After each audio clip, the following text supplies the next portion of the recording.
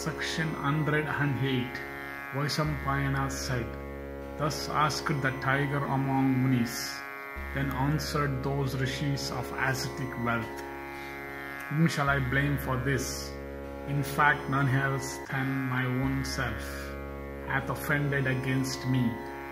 After this, O monarch, the officers of justice, seeing him alive, informed the king of it. The latter, hearing what they said, consulted with his advisers and came to the place and began to pacify the rishi fixed on the stake.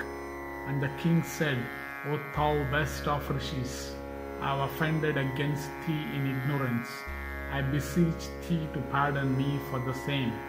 It behoveth thee not to be angry with me.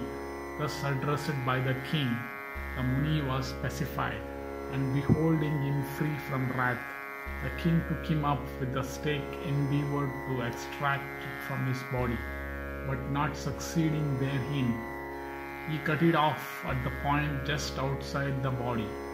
The Muni, with a portion of the stake within his body, walked about, and in that state practiced the austerest of penances, and conquered numberless regions unattainable by others.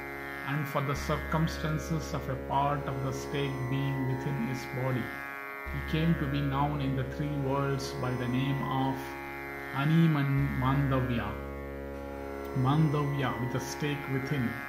And one day, that Brahmana, acquainted with the highest truth of religion, went on to the abode of the God of justice, and beholding the God there seated on his throne, the Rishi reproached him and said, What pray is that sinful act committed by me unconsciously for which I am bearing this punishment?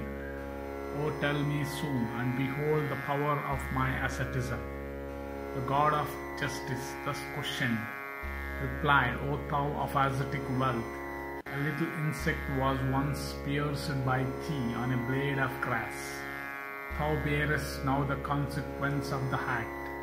O Rishi, as a gift, however, small multiplied in respect of its religious merits, so a sinful act multiplied in respect of the vow it bringeth in its train.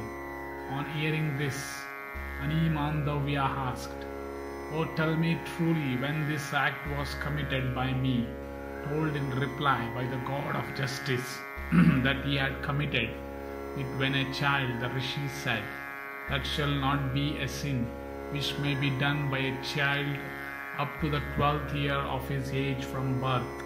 The scriptures shall not recognize it as sinful. The punishment thou hast inflicted on me for such a venial offense had been disproportionate in severity.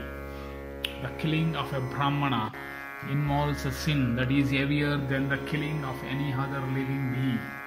Thou shalt therefore, O God of justice, have to be born among men, even in the Sudra order. And from this day I establish this limit in respect of the consequence of acts, that an act shall not be sinful when committed by one below the age of 14, but when committed by one, age, one above that age, it shall be regarded as sin.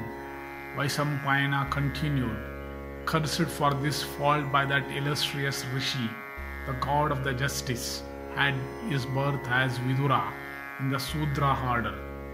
And Vidura was well posted up in the doctrines of morality and also politics and worldly profit and he was entirely free from covetousness and wrath. Possessed of great foresight and undisturbed tranquility of mind, Vidura was ever devoted to the welfare of the Kurus. Thus ends the 108th section in the Sambhava Parva of the Adi Parva.